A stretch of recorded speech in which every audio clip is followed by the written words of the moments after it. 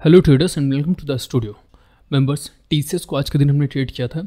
Stock selection का कैसा क्या प्रोसेस उस एक चीज़ को हम समझाने की कोशिश करेंगे और करीब तीन या चार दिन के बाद से हम ये वीडियो अपलोड करें। यहाँ पर देख एक लाइन पुट करेंगे। जैसे कि सबसे हाई वॉल्यूम मॉर्निंग के सेशन में आई थी, वो ये थी। यहाँ पर आप देखोगे कुछ ब्लॉकेज थे अभी डेली टाइम फ्रेम पर जब हम लोग चलेंगे तो यहाँ पर देखने की कोशिश करेंगे। कुछ रेजिस्टेंस जैसे कि एक तो ये रेजिस्टेंस सेकेंड थर्ड आज के सेशन में देखोगे आपकी यहाँ से प्राइस नीचे की तरफ़ गिरा है और प्रीवियस में एक, दो और ये वाला तीसरा। सो so, ये कुछ रेजिस्टेंस पॉइंट्स थे। क्या रीज़न था बाई करने का? बाई ही क्यों किया? और इस स्टॉक को हमने अपने प्राइवेट ग्रुप में भी शेयर किया था पब्लिक ग्रुप में भी शेयर किया था। बाई साइड की तरफ़ ही ट्रेड करना ये भी साफ़ साफ़ हमने लिख दिया था। सो so, क्या रीज़न था उसके पीछे का एंट्री स्टॉप लॉस टारगेट और जो क्योंकि डे लो ये जो नीचे वाली लाइन आप देख रहे हो डे लो पर हमने अपना स्टॉप लॉस लगाया था। और exact three one six one पर हमारी एंट्री थी। कौन सी कैंडल थी किस कैंडल पर हमने अपना ट्रेड एग्जीक्यूट किया था इस चीज़ को भी देखेंगे। एक तरह से देखें तो सिंपल सा ट्रेड था। अभी जो सबसे लास्ट ट्रेड हमने एग्जीक्यूट किया था एनसीसी का ट्रेड था, करीब आठ या नौ हज़ार के आसपास का प्रॉफिट हमने उसके अंदर से बुक किया था। तो एनसीसी को भी हमने कैसे सिलेक्ट किया था? क्यों सिलेक्ट किया था?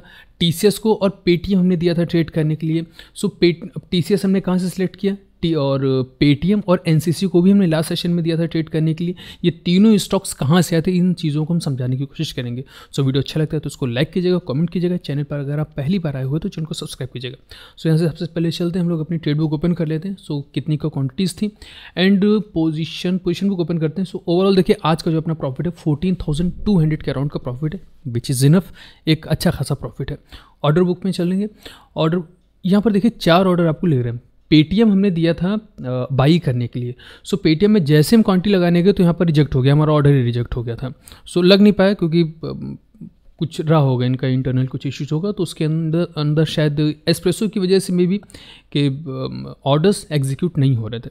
सो so, वो छोड़ा फिर हमने टीसस को उठाया। अभी टीसस को हमने कहाँ से लिया है? उस स्कैनर के बारे में हम आपसे डिस्कशन करेंगे। सो so, ये तो रिजेक्टेड ऑर्डर है हमारा। और दूसरा एक हम सर्कल बना देते हैं। एक फ़र्स्ट ये जो थ्री ऑर्डर आप देख रहे हो ये स्टॉप लॉस एंट्री और टारगेट्स के ऑर्डर है। तीन सौ दस क्वान्टिटी के साथ हमने टीसस को ट्रेड किया था। तो three one six one three one five one point six five stop loss three two three two zero six पर सारी क्वांटिटीज हमने निकाल दी थी। सो so, इसको एक बार रिफ्रेश कर लेते हैं। So nine hundred three ten three ten three ten ठीक है एक अच्छा खासा ऑर्डर था अच्छा खासा एक ट्रेड था एक बेहतरीन ट्रेड था हमारे सेशन का। और टी के अंदर सेटअप काफ़ी अच्छा बना हुआ था। इसके अंदर वॉल्यूम्स के ब्रेकआउट हुए थे मॉर्निंग में अच्छे खासे वॉल्यूम के ब्रेकआउट हुए थे पिछले हमें लग रहा है कि चार या पाँच दिन से ज़्यादा की वॉल्यूम्स के ब्रेकआउट मॉर्निंग के सेशन में हो चुके थे प्री मार्केट सेशन में ही हो गए थे। सो एक अच्छी जगह पर हमें टीसीस मिला। कई दिन से प्राइस एक ही जगह पर रुका हुआ था और जब उसने आज ब्रेकआउट दिखा दिया, तब हमने ट्रेड किया था। सो इसको भी एक बार रिफ्रेश कर लेते हैं। Fourteen thousand fourteen thousand two hundred seventy five rupees का प्रॉफिट है ठीक है? अब TCS को हमने ग्रुप में शेयर नहीं किया था, क्योंकि ग्रुप में ऑलरेडी हमने दो स्टॉक्स दे दिए थे पेटीएम दिया था और NCC दिया था। अभी पेटीएम और NCC को देने के पीछे का रीज़न क्या है और TCS को ट्रेड करने की, अभी जैसे हमने बताया कि पेटीएम के अंदर ऑर्डर एग्जीक्यूट हो नहीं रहते जब बाइक की तरफ़ हम, हमने कोशिश की कि नाइन हंड्रेड हमने जैसे लगाए, वो ऑर्डर रिजेक्ट हो गया। तो बड़ी क्वांटिटीज़ के ऑर्डर जितने भी थे वो नहीं एक्सेप्ट नहीं कर रहा था। मे बी हो सकता है ये एस्प्रेसो में ही ना हो रहा हो या सभी ब्रोकर्स ने या फिर maybe N N S C ने इसको ब्लॉक कर रखा जो भी रीज़न रहा हो। कुल मिलाकर के पेटीएम को ट्रेड नहीं कर सकते थे। इस वजह से फिर हम टी पर गए अपना स्कैनर हमने ओपन किया वहाँ से फिर हमने टी को सिलेक्ट किया। सो so, एक एक चीज़ हम एक्सप्लेन करने की कोशिश करेंगे इसके अंदर स्टॉक को सिलेक्ट करने के पीछे का रीज़न क्या है और कैसे कैसे हम स्टॉक्स को सिलेक्ट करें सो थैंक्स वीडियो को लास्ट तक देखिएगा एंड स्टार्ट करते हैं आज का वीडियो शुरुआत करते हैं टीसीएस से। टीसीएस सिंपली हम जाएँगे फटाफट स्टॉक स्क्रीनर पर। फटाफट स्टॉक स्क्रीनर पर जाने की ज़रूरत ही क्यों पड़ी? हम क्यों ही जाएँगे इसके ऊपर? देखिए, हमारे पास, हमारी कुछ फिक्स्ड स्टॉक्स की लिस्ट है। इसमें काफ़ी सारे स्टॉक्स हैं। मतलब ऐसा है कि 60 टू 70 परसेंट या मे बी हम शायद कम बोल रहे हो, लेकिन इतना मान के चलिए कि 60 टू 70 परसेंट जितने भी ट्रेड्स होते हैं हमारे, हम अपने फिक्स्ड स्टॉक्स को ही ट्रेड कर लेते हैं। हमें अदरवाइज़ जाने की ज़रूरत पड़ती नहीं। हाँ अब जैसे कल हुआ था कि हमें एनसीसी या फिर पेटीएम दोनों में से किसी को ट्रेड करना था। एनसीसी तो निकल गया। हमें बाई करना तो वो वो सेल हो गया। तो हम उसको तो ट्रेड कर नहीं सकते। हाँ पेटीएम हमें बाई करना तो वो बाई की तरफ़ ही गया बट उसके अंदर ऑर्डर एग्जीक्यूट हुए ही नहीं। तो कोई मतलब ही नहीं बनता उसको करने का। अब हमें देखना है कि अब हम कौन सा स्टॉक ट्रेड कर पाएँगे? हालाँकि जब आप देखोगे तो TCS भी हमारी फिक्स्ड वॉच लिस्ट में रखा हुआ है। बट उसके बावजूद हम फटाफट पर गए। हमें ऐसा स्टॉक चाहिए था जिसने कि मॉर्निंग में वॉल्यूम्स के अच्छे खासे ब्रेकआउट किए हों। तो यहाँ पर आने के बाद में हमने जस्ट सबसे ज़्यादा प्री मार्केट के सेशन में सबसे ज़्यादा वॉल्यूम के ब्रेकआउट जिस भी स्टॉक के अंदर हुए थे हमें वो स्टॉक चाहिए था। सो so, यहाँ पर देखिए प्री मार्केट सेशन में हमें TCS मिला सेकेंड नंबर पर। एंड इसके अंदर मॉर्निंग में 1237 परसेंट प्री मार्केट सेशन की वॉल्यूम्स के ब्रेकआउट थे। बहुत ज़्यादा होते हैं ये। हमने यहाँ से टीसीएस को उठाया। अब हमने देखा कि टीसीएस तो हमने ले लिया है। चलिए, मेरी वॉच लिस्ट में आ गया। अब हम इसको रिमूव कर देते सारी मार्किंग्स हमने हटा दी और ये आज का चार्ट नहीं बना हुआ है। अब हमें टीसीएस को ट्रेड करना है। हम कैसे करेंगे? सिंपल सी चीज़ आप ये देखिए। अब जैसे टीसीएस को ऑब्जेक्टिव होकर के सिर्फ़ हम टीसीएस को अगर ट्रेड करना चाहें, इसके अंदर जो सेटअप बन रहे थे कैसे थे? एक बड़ी सी कैंडल बन रही है। अब कितनी ही कैंडल्स बन रही हैं बट हमारी इस बड़ी वाली कैंडल के बाहर नहीं जा रही, वो उसके अंदर ही है। ठीक है, हमने तो इसको ट्रेड नहीं किया। हमने क्या देखा कि प्राइस एक रेंज के अंदर ही ट्रेवल कर रहा है। एक रेंज के अंदर ही ट्रेड कर रहा है। यहाँ से वो गिर जा रहा है बार बार इस जगह से गिर जा रहा है। सपोर्ट से प्राइस हमारा ऊपर की तरफ़ चला जा रहा है। यहाँ से ऊपर की तरफ़ चला जा रहा है। और वॉल्यूम्स अच्छे खासे आ रहे हैं।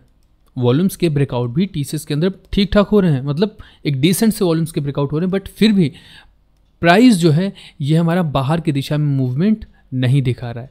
यहाँ पर वॉल्यूम्स के ब्रेकआउट हो गए, फिर छोटी, फिर से वॉल्यूम्स के ब्रेकआउट फिर से वॉल्यूम्स के ब्रेकआउट हुआ क्या? लास्ट सेशन में ऐसा क्या स्पेशल हुआ कि हमने टीसीएस को पकड़ा? सबसे पहली चीज़ तो ये फटाफट में आ गया। सेकेंड नंबर पर आया।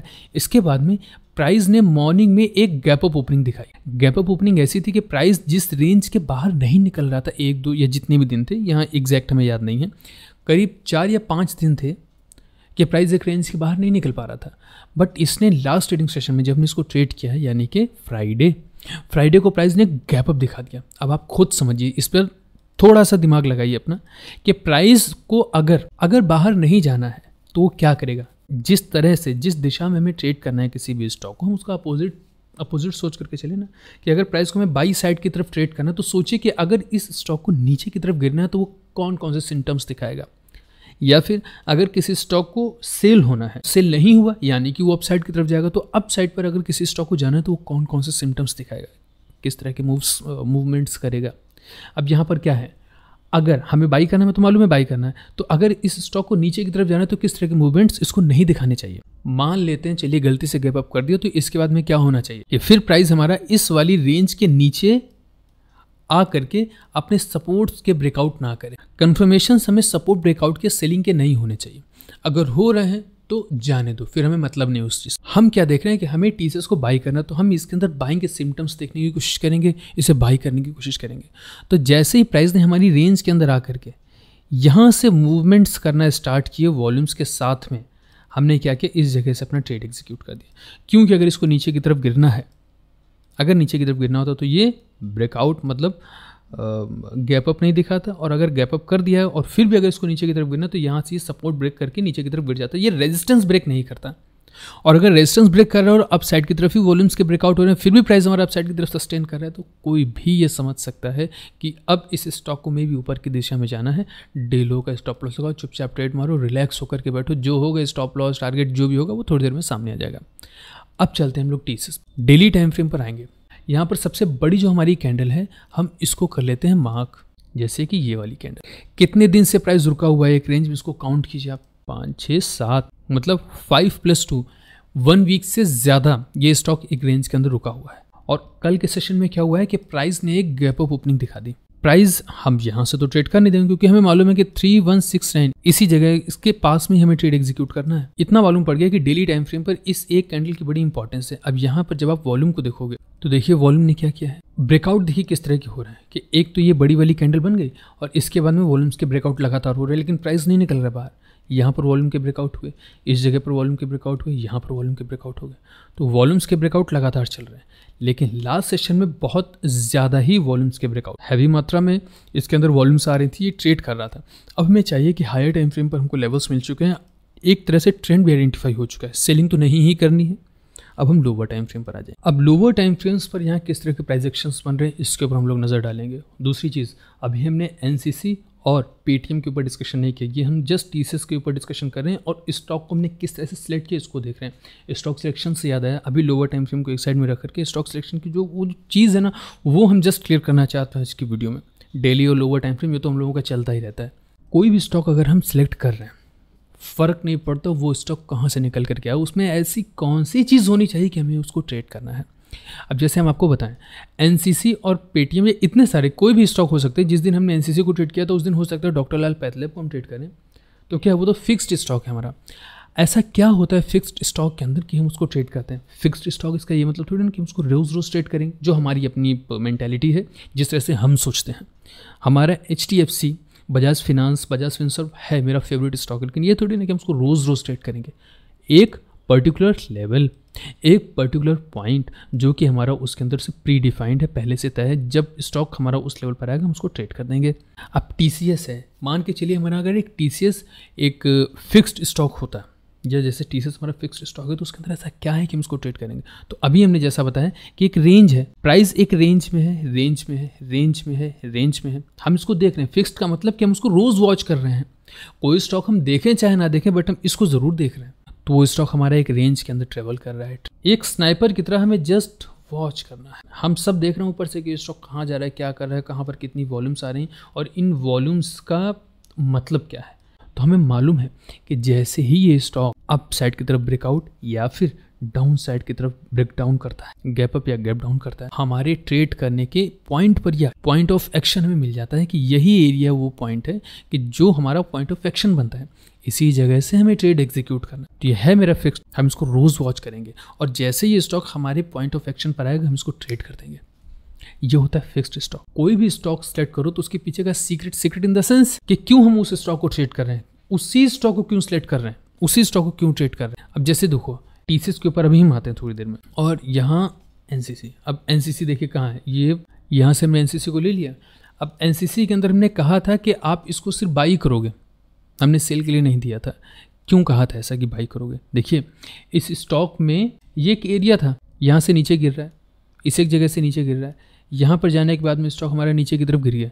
तो बार बार इस लाइन के नीचे ये स्टॉक गिर रहा है। प्राइस ने क्या किया था? लास्ट ट्रेडिंग सेशन में जब आप देखोगे तो इस स्टॉक ने क्या किया था? फाइव मिनट के टाइम फ्रेम पर हम आ जाएँगे और ये एक गैप अप ओपनिंग दिखाता है। गैप अप ओपनिंग दिखाने के बाद में इसके अंदर एक रिजेक्शन आता है, यहाँ से। एक गैप अप ओपनिंग थी प्राइस ने रिजेक्शन दिखाया सेम कहानी जो टी के अंदर बनी। इसके अंदर भी एक गैप अप ओपनिंग हुई, एक रिजेक्शन दिखाया। अब हमें लगा कि ये स्टॉक वापस से नौ पंद्रह की रेंज के अंदर जैसे ही एंटर करेगा ना तो इसके अंदर एक मूव आ जाएगा। क्योंकि प्रीवियस डेज़ के भी कुछ ना कुछ रेजिस्टेंस और सपोर्ट पॉइंट्स यहाँ पर बने हुए हैं। तो यहाँ से स्टॉक के अंदर मूवमेंट अपसाइड की तरफ़ होनी चाहिए, इसलिए हमने बोल दिया था, साफ़ साफ़ कहा था कि एनसीसी के अंदर we will go for long ये रीज़न था एनसीसी के लिए। अब हम इसको, मेरी वॉच लिस्ट में इसको रोज़ थोड़ी ना ट्रेड कर देंगे, लेकिन हाँ हम देख रहे हैं कितनी बार हमने ट्रेड किया एनसीसी आ जाते हैं हम लोग पेटीएम पर। पेटीएम कहाँ है? एनसीसी से थोड़ा सा नीचे अपना पेटीएम है। पेटीएम के अंदर बाई करने के लिए हमने दिया था। अब देख लो आप डेली टाइम फ्रेम पर। क्या है? क्या ऐसा क्या हुआ था पेटीएम के अंदर? अरे रेजिस्टेंस है। जैसे ये इसका एक, यहाँ से ले लेते हैं। ये इसका एक रेजिस्टेंस एरिया है। ये वाला पॉइंट वो है, जब तक नीचे है, तब तक नीचे है। लेकिन जब कल के सेशन में हम देख रहे थे, ये स्टॉक अपने लेवल के ऊपर ट्रेड कर रहा है। अपने रेजिस्टेंस को ब्रेक करके रेजिस्टेंस के ऊपर की तरफ़ ट्रेड कर रहा है। अब प्राइस के कुछ रेजिस्टेंस बन गए हैं। यहाँ से यहाँ से यहाँ से यहाँ से बार बार प्राइस नीचे गिर रहा है और अपने रेजिस्टेंस को कंफर्म कर रहा है। सिंपल है ना? जब ये स्टॉक अपसाइड की तरफ़ निकलेगा तो हम लोग देख सकते हैं ना बाई के लिए। अब आ जाओ फाइव मिनट के टाइम फ्रेम पर। हमने क्या कहा? पेटीएम के अंदर we will go for long और जैसे ही प्राइस जैसे प्राइस इस वाली जगह पर, यहाँ पर था शायद, इस जगह पर। हमने क्या कहा था कि यहाँ से अब एग्जिट मार दो, यहाँ से हमने बाहर निकलवा दिया। तो करीब दो दो बजे तक स्टॉक इसी जगह पर ट्रेवल करता रहा और फिर से नीचे की तरफ़ आ गया। आने तो हमें क्या मतलब उससे? हमने इस जगह पर अपनी एंट्री की और यहाँ पर हम एग्जिट हो गए। हो गया, अपना काम हो गया। अब इस स्टॉक को जहाँ जाना है, जाए। फिर से हम देखेंगे कि ये स्टॉक सिक्स थ्री एट आप इसको नोट करके रख लो। इस वाले एरिए पर आ करके प्राइस अगर अपसाइड की तरफ़ के मूवमेंट्स दिखाते तो आप यहाँ से बाई कर सकते हो मार्केट कंडीशंस को देखते हुए। और अगर ये स्टॉक अपनी इस रेंज के नीचे ही ट्रेड कर रहा है, ये ऊपर की तरफ़ नहीं जा रहा तो यहीं से ये स्टॉक देखना गिर जाएगा। पेटीएम नीचे चला जाएगा। और अभी वो 1.1 परसेंट का कुछ चल भी रहा है वॉलेट वाला तो उसका भी हमें लग रहा है कि इसके ऊपर कुछ निगेटिव इम्पैक्ट पड़ना है पेटीएम के ऊपर पड़ना है। तो फंडामेंटली और टेक्निकली दोनों ही लेवल पर हम देख रहे हैं, दोनों ही तरह से देख रहे हैं कि ये स्टॉक अपने एक रेजिस्टेंस को फेस करो और मे भी इसके अंदर एक शॉर्ट सेलिंग आ सकती आप लोग टेलीग्राम ग्रुप ज्वाइन कर सकते हो, लिंक डिस्क्रिप्शन में हमने दे दिया है। तो वहाँ से आप टेलीग्राम चैनल ज्वाइन कर लीजिए, कोई भी स्टॉक वगैरह है, कुछ अगर हम ट्रेड कर रहे हैं या किसी स्टॉक को हम वॉच करें तो वहाँ पर लेवल्स दे देते हैं, स्टॉक दे देते हैं कि देखिए, इस स्टॉक को देखिए आज के दिन। तो काफ़ी सारी हेल्प वहाँ से मिल जाती है। ओके, सो ये तो बात हुई कि पेटीएम और एनसीसी को लेकर के हमने बता दी। तो आई होप कि क्लियर हुआ होगा। स्टॉक सेलेक्ट करने का तरीका, वो स्कैनर, फलाना मतलब वो सारी चीज़ें तो होती हैं, वो टेक्निक्स हैं, उनकी अपनी जगह एक, जो इम्पोर्टेंस है वो बनी हुई है। लेकिन उन सब चीज़ों के ऊपर कोई भी स्टॉक अगर मेरे स्कैनर में आ गया इसका क्या मतलब है कि हम उसको ट्रेड ही कर देंगे? इतने सारे स्टॉक फटाफट स्टॉक स्क्रीनर में थे Eicher Motor Power Grid Kotak Nestle Infy Axis Hindustan ये टीसीएस ही क्यों? क्योंकि इतने सारे स्कैनर्स स्कैनर में इतने सारे स्टॉक आए हैं, मेरे क्राइटेरिया को टीसीएस ने फुलफिल किया, हमने टीसीएस को ट्रेड किया। मेरे पास, मेरी फिक्स्ड वॉच लिस्ट में इतने सारे स्टॉक हैं, लेकिन कल के सेशन में एनसीसी ने और पेटीएम ने हमारे कंडीशन को फुलफिल किया, हमने इन दोनों स्टॉक्स को पकड़ा। आई होप कि समझ में आया होगा। बहुत ज़्यादा कॉम्प्लिकेट करने की ज़रूरत नहीं है इसको। क्लियर ना? अब चलते हैं वापस हम लोग टीसस पर। टीसस के अंदर लोअर टाइम फ्रेम्स पर क्या हुआ है? इसके पहले आप देखोगे कि प्राइस के कुछ स्विंग्स लगे हुए हैं। जैसे ये हमारे हाईज हैं, ये वाला हाई हम लोग ले लेते हैं। प्राइस इस जगह से नीचे की तरफ़ गिर गया था। यहाँ से। एक इंटरनल स्ट्रक्चर्स के अकॉर्डिंग प्राइस ने एक हाई लगाया, एक low high low high low high low और फिर से ब्रेकआउट दिखा दिया। और अगले दिन वापस से प्राइस ने ब्रेकआउट दिखा दिया। तो ये वाला जो स्विंग था ये था इसका एक्सपेक्टेड सपोर्ट एरिया तो प्राइस तो नीचे की तरफ़ गिर रहा है। हमें मालूम है कि जब प्राइस अगर इस वाली रेंज को ब्रेक कर देगा तो मे भी हो सकता है फिर वो यहाँ तक या फिर आ, आपके इस वाले एरिया तक आ जाए। अगर इस वाले लेवल को भी ब्रेक कर देता तो ये फिर सपोर्ट बन जाता हमारा है ना? बट हुआ क्या है कि प्राइस जैसे ही हमारे प्रीवियस स्विंग के पास में आया इसके अंदर रिजेक्शन स्टार्ट हो गए। तो जैसे ही सपोर्ट पर आने के बाद में आप देखोगे कि ये वाली जो अपनी कैंडल है ये वाला पॉइंट इसके ऊपर जाकर के फिर ये सस्टेन होने लगा। इसने क्लोजिंग कर दी। और फिर यहाँ पर तो वॉल्यूम्स के ही ब्रेकआउट हो गए थे। ये देखिए, कितने अच्छे वॉल्यूम्स के ब्रेकआउट हुए थे। एक ब्रेकआउट वापस से प्राइस नीचे की तरफ़ आया और यही एरिया था अपने एंट्री करने का। हमने कुछ नहीं किया सिंपली डेलो पर अपने स्टॉप लॉस लगा दिए। डेलो क्यों? क्योंकि ये वाला जो स्विंग है, अभी मैं बोला ना कि प्राइस अगर इस वाले सपोर्ट को नीचे की तरफ़ तोड़ देता तो फिर वो नीचे गिर जाता। बट प्राइस ने क्या किया? यहाँ से ये नीचे की तरफ़ सपोर्ट लेकर के सीधे ऊपर चला गया। तो हमने क्या किया? स्टॉप लॉस जस्ट अपने डे लो के नीचे लगा दिया और वापस प्राइस ऊपर की तरफ़। तो इसको जस्ट अपने रेजिस्टेंस ब्रेक करने हैं। नाइन फिफ्टीन का हाई तोड़ सकता है है ना? या फिर हाई साइड में चला जाए। अब यहाँ पर जैसे ये वाली वॉल्यूम आई, ये वाली वॉल्यूम आई ना, हमने क्या किया कि बिल्कुल जो डे हाई लगा हुआ था, इस जगह पर हमने ऑर्डर्स एग्जिट कर दिए तो दो तीन रुपये का फ़र्क था। हमने जो लगाया था ऑर्डर ये इसके आसपास में कहीं लगाया था। मूवमेंट्स बड़े थे। तो दो तीन रुपये का हमको प्रॉफिट हो गया प्राइस हमारा इस जगह से कहीं हमने एग्जिट कर दी। ओवरऑल ये हमारा ट्रेड था और ट्रेड समझाने से ज़्यादा इंपॉर्टेंट हम समझते हैं आज के सेशन में कि स्टॉक सिलेक्शन का जो एक एक टेक्निक बोलेंगे सीक्रेट बोलेंगे, इसको क्या ही बोल सकते हैं हम लोग। एक common sense I think common sense बोलना ज़्यादा अच्छा है। आप कोई भी स्कैनर ले लो, कुछ भी ले लो, कहीं से भी कोई स्टॉक आया है, उसको ट्रेड नहीं कर देना है। अपनी फिक्स्ड वॉच लिस्ट बनाओ। कुछ टेक्निक्स होनी चाहिए कि डेली टाइम फ्रेम पर आपकी रीडिंग एबिलिटी क्या है, उसको इंक्रीज़ करने की कोशिश करो। डे बाई डे जो वीडियोज़ हम अपलोड करते हैं, इधर वीडियोज़ अपलोड करना थोड़ा सा स्लो हो चुका है बट हम कोशिश करेंगे कि पुराने, जैसे हम लोग कर रहे हैं कंटिन्यू वैसे करते रहें। तो उसको आप देखो, समझो, पढ़ो, सीखने की कोशिश करो लॉस करने से कुछ नहीं रखा है। हम ये नहीं कहते कि हमने आपसे ज़्यादा लॉस किया है, लेकिन हम ये ज़रूर कहते हैं कि हमने भी लॉस किया है। और वो रिग्रेट क्या होता है? वो लॉस करने के बाद में क्या फील होता है ना? वो पता है हमें बहुत अच्छे से। जब लॉस हो जाता है तो बस मन में ये आता है कि कहीं से भी कुछ भी मिले, कोई संभाल ले। कुछ तो हो। देखो वीडियोस देखो। है ना? आपको एक, आप, आपको कॉन्फिडेंस आएगा। आप कोई भी आप वीडियो उठा करके देख लो अपना, इस चैनल पर जितनी वीडियोज़ हैं, कोई भी आपको टाइम पास नहीं लगेगा। क्योंकि एक छोटा सा शॉर्ट भी अगर हम अपलोड कर ना तो उसमें भी हम कोशिश ये कर रहे हैं कि पूरे दिन में जो भी हमें एक्सपीरियंस है ना, वो हम शेयर कर दें सीधे सीधे शेयर कर दें।